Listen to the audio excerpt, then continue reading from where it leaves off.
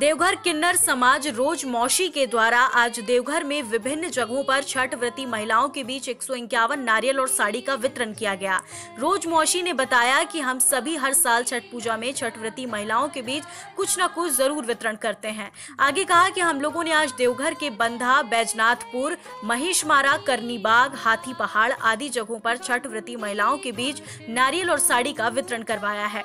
बहुत खुशी मिलती है। किनके द्वारा? ये गुलाबो जी के द्वारा ही मिलते हैं। बहुत अच्छे क्या? खुशी मिलती है क्योंकि ये साल भर का त्यौहार होता है हम लोग ये त्यौहार बहुत अच्छे से बनाते हैं। और हम लोग को बहुत खुशी होता है कि हम अपने मोहल्ले में सारे माता बहनों को फल और साड़ी पिछले साल भी मैं नारियल बांटी थी इस साल भी मैं नारियल और साड़ी बांट रही हूँ। और मैं छठ मैया से यही विनती करूँगी कि छठ मैया ऐसा हमारे सारे जजमानों को खुश रखे किसी को कोई तकलीफ़ ना दे। और बस हमारे माता बहन खुश रहे सारे ऐसे ही हमसे मिलते जुलते रहे करके सारे ऐसे छठ पर्व मनाते रहे करके। आज किस मोहल्ला में बात आज मैं अपना बैनाथपुर बंधा में बांट रही हूँ। आप बांटेंगे अभी? बैनाथपुर करनी बाग मैस मारा हर मोहल्ले में बंधा हर जगह पे बांटूँगी। अविनाश वर्मा के साथ अजीत संतोषी की रिपोर्ट।